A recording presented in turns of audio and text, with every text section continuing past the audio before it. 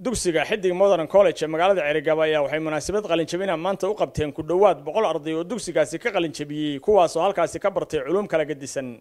Waxaana munaasabadana lagu qabtay howlka xafladaha iyo shirarka mahuraan ee magaalada ceerigaabo kasakow ardaydan ka soo qayb galay. Xubno ka mid a wasiiradii magaca ku lahaa xukuumadihii hore ee soo maray somalilan siyaasiyiin kale waalidiin aqoon-yahano maamulka wasaaradda waxbarashada sanaaga iyo marti sharaf kaleba.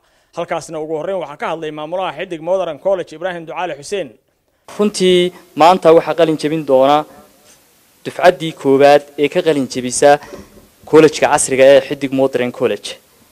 Runtii collejkaasoo aada uga barateen waxbarasho tayadiisu aada iyo aada u sarrayso. Waxaa qalin jebin doona arday ka kala kooban afar kulliyadood. Ardayda koowaad oo ka qalin jebin doona kulliyadda ingiliishta tiradooduna dhan tahay koob iyo toban arday.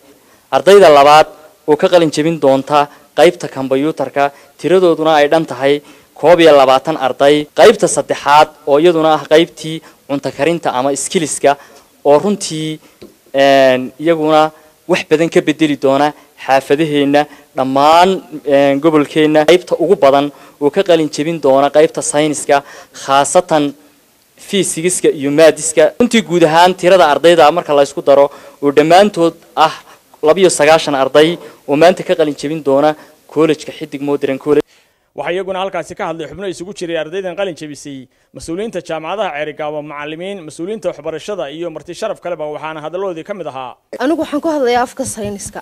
Saynisku waa waxa ugu horreeya oo maxay tahay wax lagu baran karo ama cilmigu halkuu ka soo jeedo time is the only thing that you can change your life. As well aware of time is explaining and organizing your time between a specific activity. Everything is working technology and developed knowledge.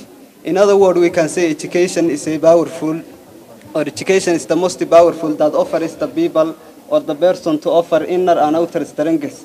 Iskuulka waxaanu ku bilownay saddex nin baanu ku bilownay ugu horreyntii bal qiyaaso saddex arday oo ka qalin jebiyey jaamacad iyagoon haysan wax dhaqaalaha iyagoo aan hore meel uga soo shaqayn ama wax dhaqaala oo aan meel ku ogyahaan jirin.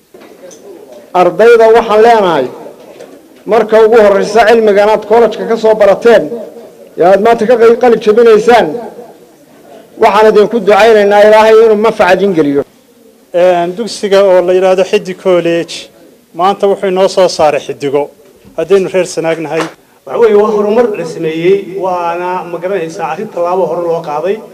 Aad iyo aad baan u salaamayaa ardaydaasi. Waxaan idinku dhiirigelinayaa inaad halkaa hore uga sii martaan. Gabagabadiina munaasabadaasi hadalka waxaa isaga dambeeyey wasiirkii hore arrimaha gudaha somalilan cali waran cadde siyaasi siciid sulub iyo ambasador cawil cali ducaale iyadoo ugu dambayntiina ardaydan halkaasi ay ku guddoonsiiyeen shahaadooyinkoodii aqooneed.